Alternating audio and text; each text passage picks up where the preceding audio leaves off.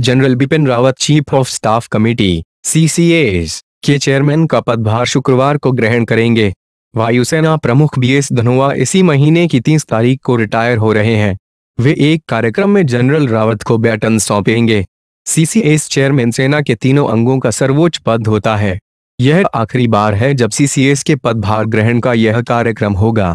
इसके बाद सरकार चीफ ऑफ़ डिफेंस सीडीएस की नियुक्ति करने जा रही है। यह देश में सेना का सर्वोच्च पद होगा। बी एस धनोआ करगिल युद्ध लड़ने वाले योद्धा हैं।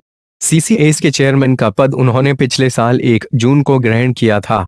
उनसे पहले पूर्व नौसेना प्रमुख सुनील लांबा इस पद पर नियुक्त थे। जनरल रावत कई पदों पर सेवा दे चुके हैं। जनरल रावत आई में देहरादून से प्रशिक्षित हैं।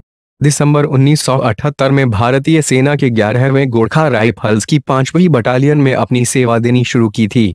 जनरल रावत पूर्वी क्षेत्र में लाइन ऑफ़ एक्चुअल कंट्रोल पर कश्मीर घाटी के इंफेंट्री डिवीज़न में राष्ट्रीय राइफल सेक्टर के साथ ही democratic republic of Congo MO के बहुराष्ट्रीय ब्रिगेड को कमांड कर चुके हैं।